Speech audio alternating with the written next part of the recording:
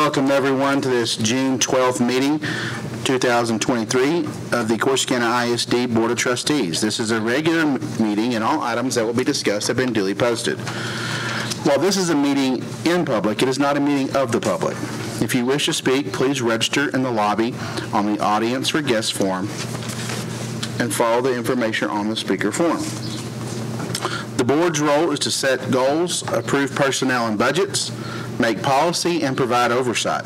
We are not here to manage or solve individual problems. Management is the responsibility of the superintendent. As a board, we believe that we must educate every child, provide every child the greatest opportunity to learn, and maintain a safe and secure environment physically, mentally, emotionally, and academically. And these are our core values. We appreciate your interest in the we appreciate your interest in the students of CISD. All right.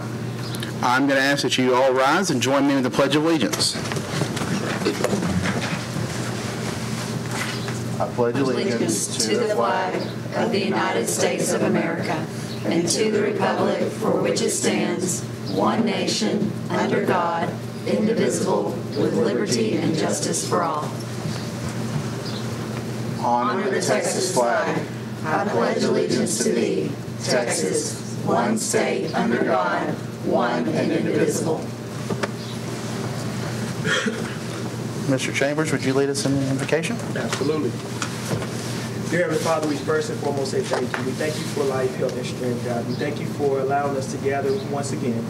Father, we ask that you would just continue to lead, God, and direct us in all um, truth, and that we will continue to do the things that is pleasing um, towards you for our educators and our students in the district of Corsicana Independent School District. Lord, we thank you for this day. We ask that you would just continue to protect us as we leave this place, that we make it home safely. Bless all these things your son, in Jesus' name we pray. Amen. Amen.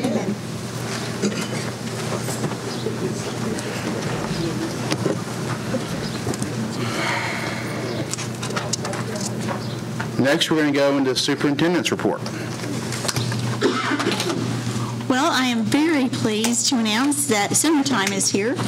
And despite the fact that we have had rain and storms um, for the past several days, and we're under an alert right now, um, we're grateful. We're grateful for the rain, and we're grateful to have summer school in full swing.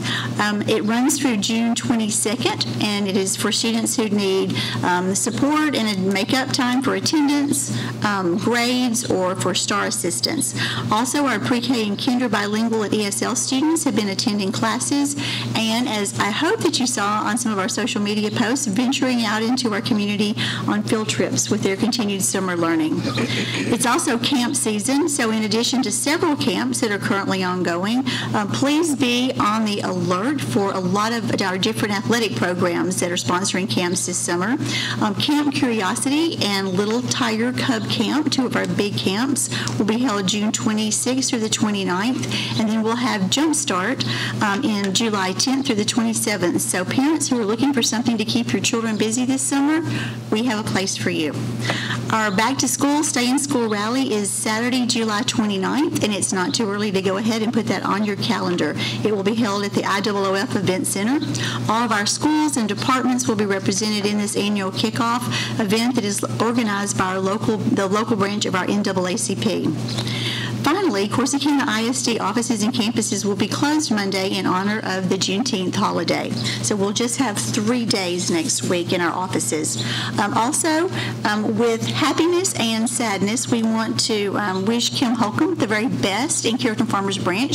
She's going there to be the assistant superintendent for curriculum administration. So we are sad to see her leave, but we are happy for her future success, and we wish her the very best. Thank you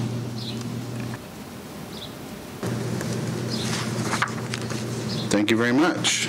All right, we're going to move into discussion action items.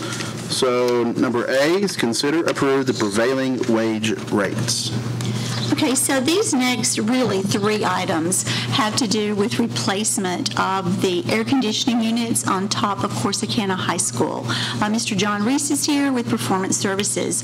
You may remember that earlier in the year, they did a full audit of all the different, all the buildings, and we um, are able to take $3.8 million from our ESSER funds in order to replace the air conditioning units on top of Corsicana High School, which is just one element of what um, they looked at when they did the audit.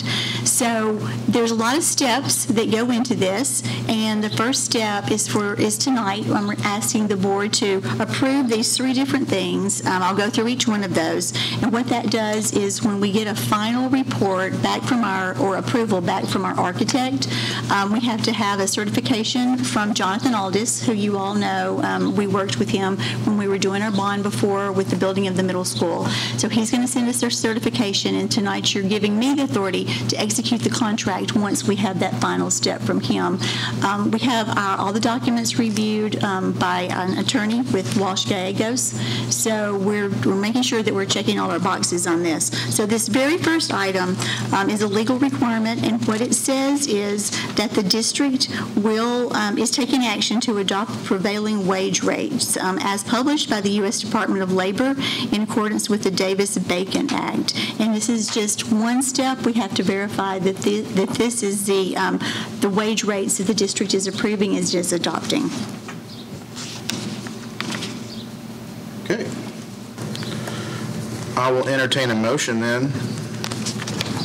A move that we adopt the prevailing wage rates published by the United States Department of Labor in accordance with the Davis-Bacon Act, 40 U.S.C. 3141, and its subsequent amendments in a connection with the school district construction projects excluding payment of fringe benefits except for federally funded projects until superseded by future board action. Is there a second? Second. We have a motion and a second to adopt the prevailing wage rates published by the United States Department of Labor in accordance with the Davis-Bacon Act, 40 U.S.C. 3141, and its subsequent amendments in connection with school district construction projects excluding payment of fringe benefits except for federally funded projects until superseded by future board action. All those in favor, say aye. Aye. All those opposed, say no. Ayes have it, and we have adopted the prevailing wage rates published by the U.S. Department of Labor in accordance with the Davis-Bacon Act. Okay, the second step is to consider approval of the interlocal agreement, which is job order contract. What we're requesting the board do is approve job order contracting through an interlocal agreement as our delivery method for this contract and for the work that it encompasses. Any questions? Any any motions? Yes. I move that we approve job order contracting through an interlocal agreement as the delivery method providing the best value to the school district for the HVAC replacement and controls upgrade project at Corsicana High School. Is there a second? Second. We have a motion and a second that we approve the job order contracting through an interlocal agreement as the delivery method providing the best value to the school district for the HVAC replacement and controls upgrade project at the Corsicana High School. All those in favor, say aye. Aye. All those opposed, say no. Ayes have it, and we have approved the job order contract contracting through an interlocal agreement as the delivery method providing the best value to the school district for the HVAC replacement and controls upgrade project at the high school. Okay, and the third step is to consider um, approval of the agreement with Performance Services. What the next several pages are the full details of what will be replaced, including the existing conditions, the scope of the work, um, the tonnage for the air conditioning units, and um, the different steps and information that will be taken throughout the course of the work. So we're asking the board to consider and take action on um, this amount, not to exceed $3.8 million, um, and to award the contract to Performance Services through the TIPS contract, and to delegate the authority to the superintendent to negotiate and execute the contract.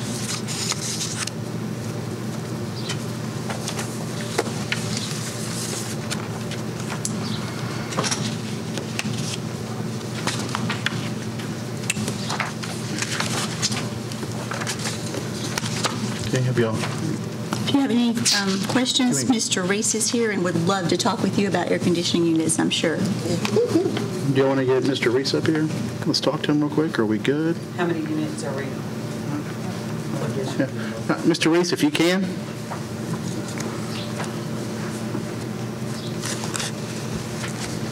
Uh, Good evening, members of the board. I'm happy to answer any questions that you guys have. How many, I guess, how many units? um, 67. 67, and how long, how, what would the be? So the district has until September 30th of 2024 to use the ESSER funds, and my guys are telling me we'll be done by July, early July of 2024. In the agreement, um, I talked to the attorney today, um, the end date for installation is July 1st, 2024, and that gives us some room before teachers come back and then students come back for the 24-25 school year. And um, in addition to that, um, the, um, they've reassured us that the building will be fully functional throughout the course of the replacements. Um, So our students will not um, be uncomfortable, our staff will not be uncomfortable. They'll be able to be in the building throughout the time that the units are being installed. Because you'll be, you'll be replacing them during the school year, correct? Correct. Part of the school year. I understand you guys are going on a flex schedule, so we'll work with the district's calendar and schedule to make sure that we're not interrupting school.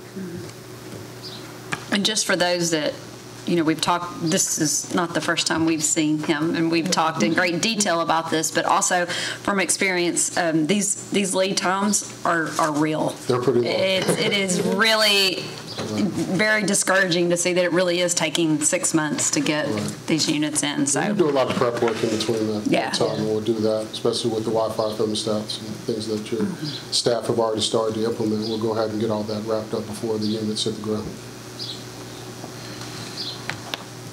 Okay. Does anyone else have any questions for Mr. Reese? Okay, well, I'll entertain a motion. I move that the board award the HVAC replacement and controls upgrade project at Corsicana High School in an amount not to exceed $3,800 to Performance Services Incorporated through TIPS contract number 211001 and delegate the authority to the superintendent to negotiate and execute the contract. Is there a second? Second. Okay, we've, we're, where the motion is the board award the HVAC replacement and controls upgrade project to the Corsicana High School in the amount not to exceed $3.8 million to Performance Services Incorporated through TIPS contracts number 211001 and delegate authority to the superintendent to negotiate and execute the contract. All those in favor, say aye. Aye. All those opposed, say no. Ayes have it, and we have awarded the HVAC replacement and controls upgrade project at Corsicana High School. Thank you so much, appreciate it. Thank you.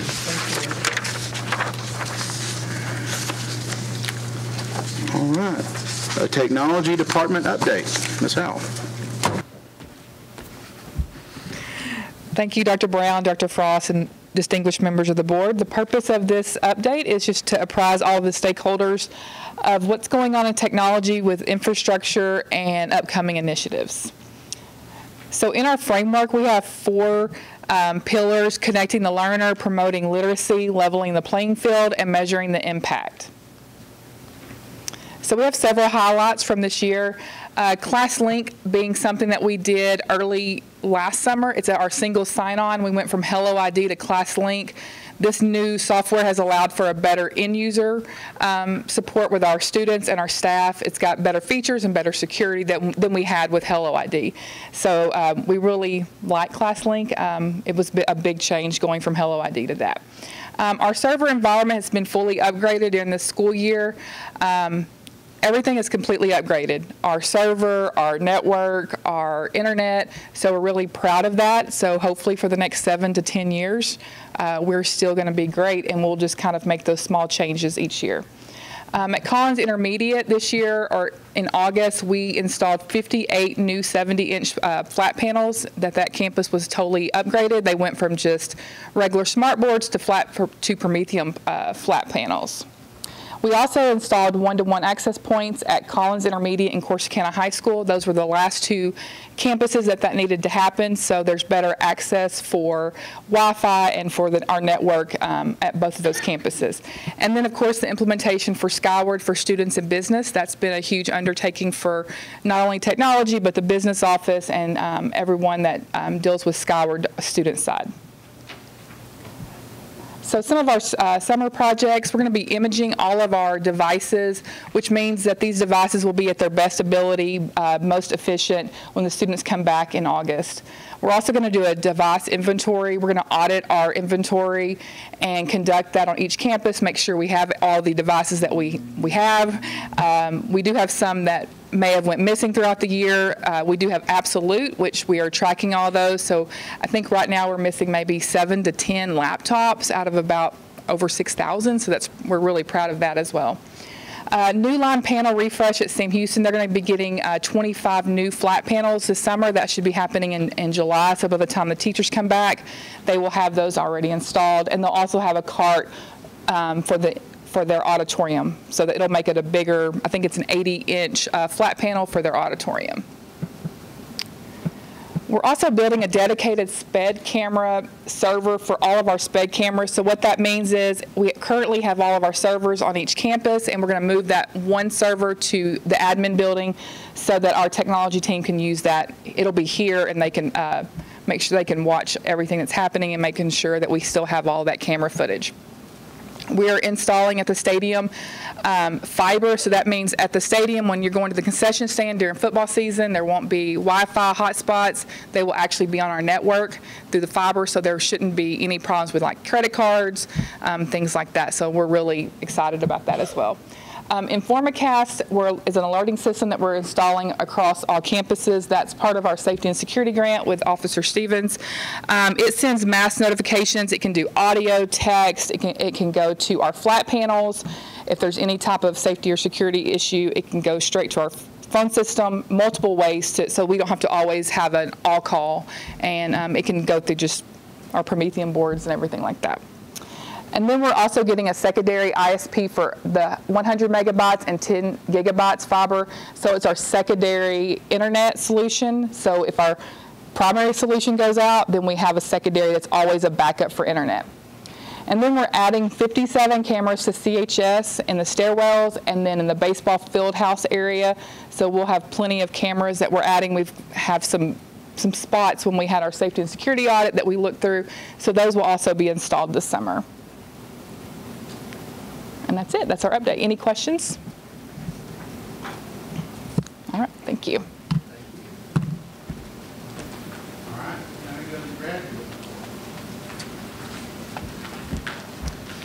Good evening. Tonight we're going to talk about our graduates um, and kind of just kind of update you on um, how some numbers that are important to uh, to you and to to Corsicana High School. Um, total number of graduates we had this year was 405. Uh, we had 42 graduates from night school, and I want to talk to you a little bit about night school. Those are 42 students that um, would have dropped out. Those are students that were, were through with school, that, that we recovered, and, and they finished high school, got their diploma, and walked. That is an excellent program that we started um, last year, and um, really look forward to keeping that going. That's well worthwhile. 42 students got their diplomas that, that wouldn't have. Um, number of early graduates, we had 26, and then this was our last cohort for uh, Higher Start, and we had 27 graduates for the uh, Higher Start program. Um, I added this just, um, you know, with recent news, just to kind of give you an idea. Uh, we had non-completers, we had four non-completers from traditional school who didn't complete. Now that doesn't mean that they can't complete. Uh, they might have completed this summer and they may be working on it right now as we speak. And then we had eight from night school that were non-completers. So that's a, that's a pretty small number and um, we continue to work with those students. It's important to understand that we do continue to work with those students and, and make sure that they're graduates. Uh, we had five military enlistments, uh, all going to the Marine Corps. And you know, throughout the year, all of our armed forces come in at lunch and really try to meet the kids and recruit. And so uh, we had five students this year that enlisted in the military. And then uh, we talked about this a little bit. We had over 160 scholarships awarded at $3.3 million, and uh, six students received full ride scholarships. So that's that's a really big number. Um, a lot of the credit goes to our counseling office, and um, they worked really hard this year, uh, led by uh, Patricia Daniels, um, really pushing the kids to apply for those scholarships, and um, really made a big difference. So we received 263 IBCs this year. And I talked to you a little bit about how this has changed. So we only included the IBCs that actually count for the uh, CCMR point.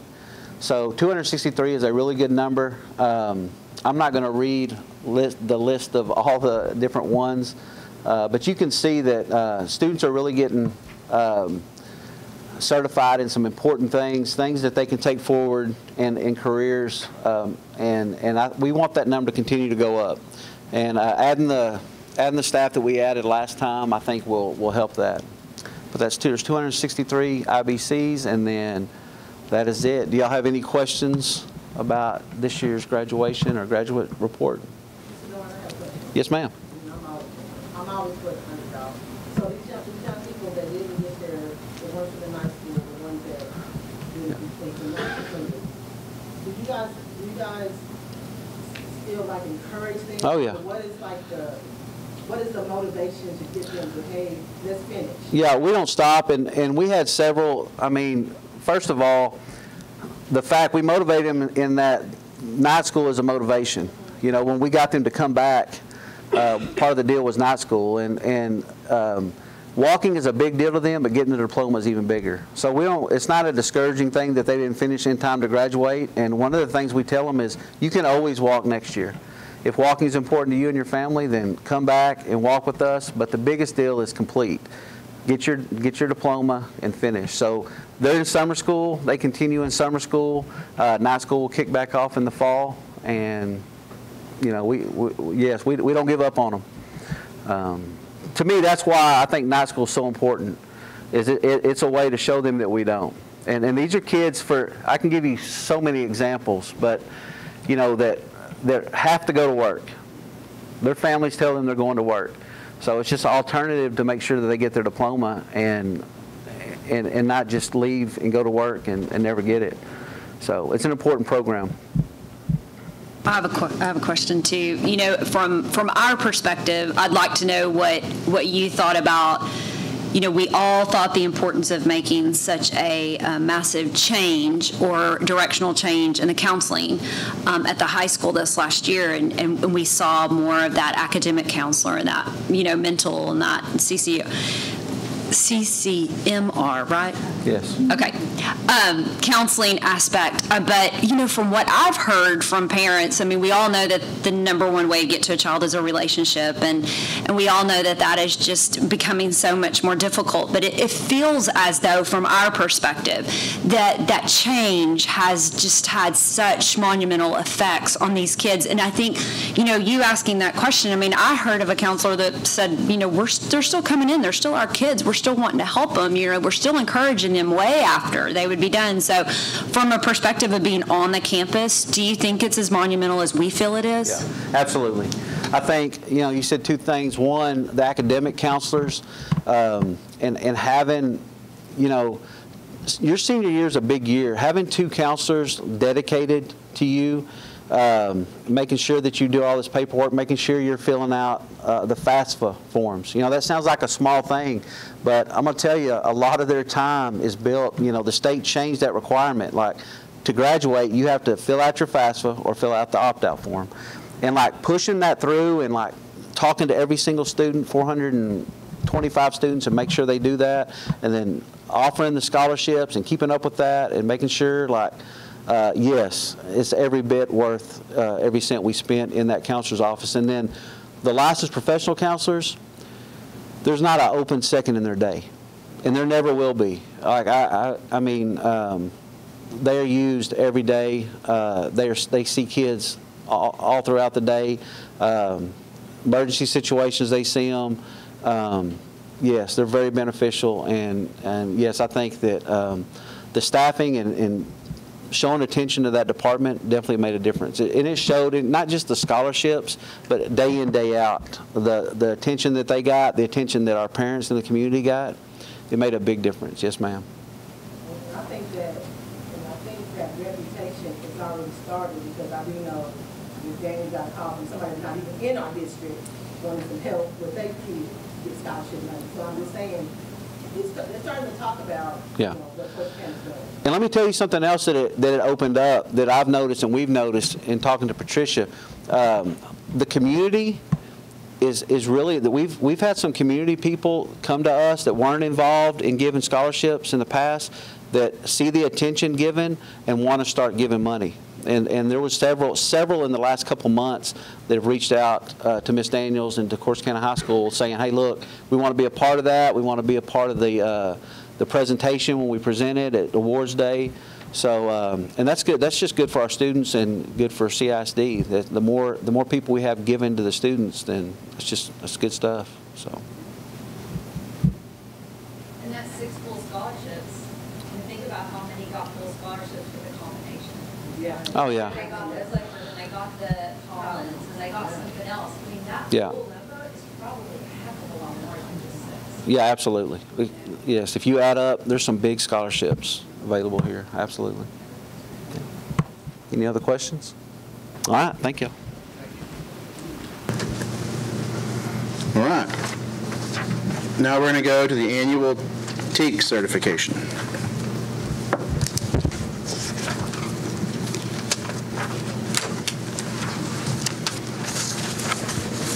This your last report with us? I wasn't going to say that, but yes, ma'am. Um, Dr. Brown, Dr. Frost, and distinguished members of the board. Oh. I have the exciting report to give you of the TEKS annual certification. Um, This is our annual certification that's in accordance with the Texas Education Code 31.004. Basically, we are having to certify every year that we have materials to cover 100% of our TEKS, um, excluding physical education. However, we are covered 100% on that as well. So, um, moving through, um, I'm just going to briefly highlight a few things um, that do need to be brought just to your attention so that you are aware uh, before you sign um, at the end of the certification. Um, For reading language arts certification, uh, we are using the uh, specified scope and sequence that is through the adoption. Um, We are continuing to use our into reading, which is Houghton Mifflin Harcourt, uh, for K through 2, as well as third through fifth grade. Uh, Excuse me, third and fourth grade. Starting in fifth grade, we've been using the McGraw-Hill Wonders program since we did our adoption in Proclamation 20. That has also gone very well, and they are continuing to use that program which also aligns to our social studies TEKS. Um, we also have added over this past year a supplemental product that you'll see in that next category under question 5.1 on the K through 2 Saxon Phonics program, and we also have an adaptive curriculum program of progress learning. We have used that program for quite a while. You've often heard to it referred as the um, Education Galaxy, but it is now under the umbrella of progress learning. They did a merger. Um, and the Saxon Phonics, you've heard us mention before in prior board meetings, and it has gone extremely well. Um, the data from that we are still gathering, but we can already tell from early DRA scores that the students' literacy scores have already had significant increases. In third through fifth grade, our supplemental program, we added as a pilot this year, excuse me, we were able to do for free uh, the HMH Writable program. We did an instructional survey uh, with all of our teachers at the end of the year to get feedback from them on what they liked, what they didn't like, where they needed extra support, uh, what would they like to see us renew, and where would the best use of our uh, funds and dollars go for supplemental programs. And overwhelmingly, all of the teachers that utilized that program in third through eighth grade uh, were like, please renew that program, find a way. It has been significantly um, um, an improvement because the program itself is digital and it mirrors itself on the same platform as our STAR testing platform. So when the students are able to go in there, they're writing essays and their short constructed responses, they practice the way that it will be done on the state test. So it has been an outstanding program and I am very thankful uh, for the board's support in that because we are renewing that next year as a supplemental program. Uh, Also, Progress Learning continues for those. Um, Moving on um, into our upper grades, uh, we do for Spanish, obviously, we have K through 2 does the HMH program Arriba. That is continuing. We did do an eight-year adoption for that. McGraw-Hill has the mirrored program, which is Maravillas. And then we have a supplemental program for phonics for Spanish, which is Estrellita. Um, And there will also be continuing writable and Imagine Learning for those grades. At the secondary level, sixth through eighth grades continuing study hill, uh, study sync with McGraw-Hill, and our higher um, a pre-AP programs use College Board Springboard, so that will also be renewed. That was up this year. Um, the program Writable and Progress Learning extends through those grade levels as well. And then for the high school level, for 9 through 12, HMH Into Reading is our adopted program there. And continuing with our AP and pre-AP, they will be using College Board Springboard as they have done in the past. AP English 4 does use Cengage Learning. And then also Writable came with their adoption, so that program now will be a, a third through high school program, which is really great when you can vertically align the programs in, within the district. As far as math is concerned, we're still in our gap years for math, uh, but we have uh, utilized some programs with the feedback from our uh, teachers as well as our administrators, and we've made a couple of changes in this particular area. Uh, the K through 5 um, will be continuing with uh, STEM, well, excuse me, it's K through 6, but in this report, it breaks it up K5. They will be using the STEM Scopes program as we did last year. We'll continue with Progress Learning as our supplemental program for adaptive curriculum. And then in seventh and eighth grade, they will do some supplemental programs with Maneuvering in the Middle. We have used that program in the past, which is also 100% aligned to the TEKS. And then College Board Springboard is used for our pre-AP classrooms. At the high school level, we will not be renewing STEM scopes, but instead we will be using for Algebra 1, Algebra 2, and Geometry. Get More Math is a program they've used in the past and have had great success with. Uh, so we will be continuing with that program, which is 100% aligned to the TEKS. Financial Math uses Dave Ramsey, and then Algebra 1, 2, and Geometry AP use College Board Springboard for the deeper, more rigorous resources. Um, As from teacher requests this year, they would like to add a supplemental program called Delta Math, and that is something that we have added on um, for next year for the Algebra 1 grade levels. Um, okay, and then social studies, um, K through 2, we continue to do a blend of either um, our adopted scope and sequence or we use the TEKS resource depending on the grade level. We have been supplementing with K through uh, uh, K through 6 studies weekly for quite some time. It is 100% aligned to the TEKS, but many of our adoptions came with alignments to social studies, and so some grade levels don't have to utilize the program as often. But we are over covered in that area with appropriate resources for the TEK alignment. Um, for seventh and eighth grade, they will uh, continue with world, world cultures and geography, with Texas history, U.S. history, with our McGraw-Hill um, programs. And then finally, high school continue with McGraw-Hill as well for U.S. government history, world geography, and world history. And then our AP Advanced Placement World History uses AMSCO. And then the last section of this is our science certification. Uh, we have been using STEM scopes now almost, well, it's actually a K through 12 program now.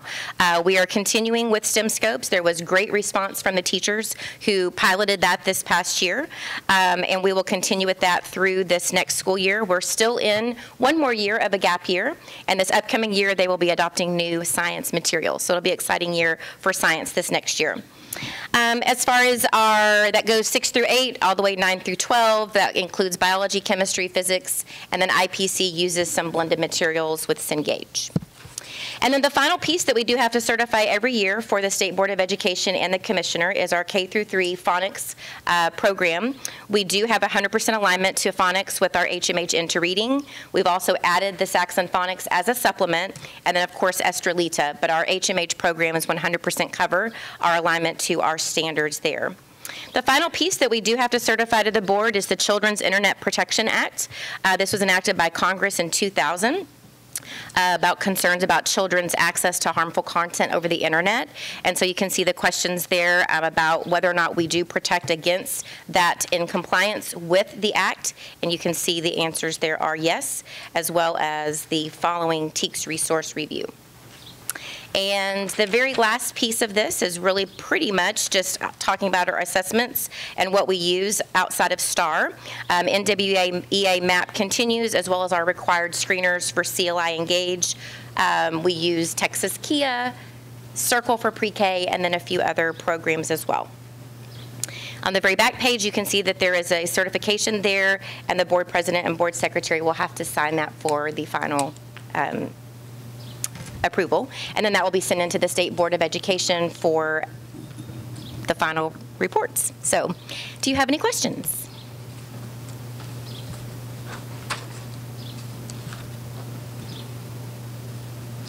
Okay. Thank you. And we have a motion with that, so I'll entertain one. I move that the board certifies that the instructional materials used by the district meet the criteria listed on the instructional materials allotment and TEKS certification form for the 2023-2024 year. Okay. All right, we have moved and seconded that the- we're going to certify the instructional materials used by the district meet the criteria listed on the instructional materials allotment and TEKS certification form for 2023-2024. All those in favor, say aye. Aye. All opposed, say no. Ayes have it, and we have certified the instructional materials to be used by the district that meet the criteria listed on the instructional materials allotment and TEKS certification form for 2023-2024. All right. Now we're going to go into consent agenda. I move we approve the consent agenda as pre- presented. Okay, is there a second? All right, I'll- have a motion and a second to approve the consent agenda. All those in favor, say aye. Aye. All opposed, say no. Ayes have it, and we've approved the consent agenda. Ms. Harrison, do we have an audience for guests? All right, there's no audience for guests. All right. We're going to adjourn into closed session per- as permitted by Texas Government Code, Section 551.01.